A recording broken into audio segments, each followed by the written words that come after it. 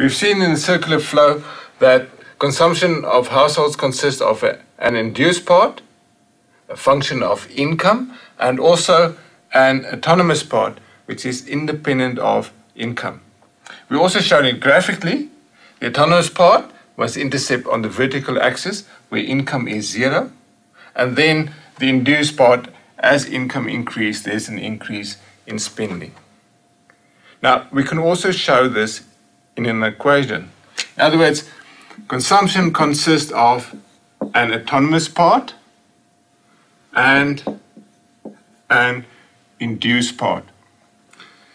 Or we can put the, the numbers in, in our number. We said autonomous C equals 100, the intercept on the vertical axis, and the induced part, the of propensity consume is comma 8.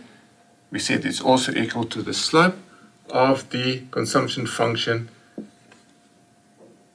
comma 8 of income. So in an equation, the behavior of households, consumers, is shown by the autonomous part and the induced part.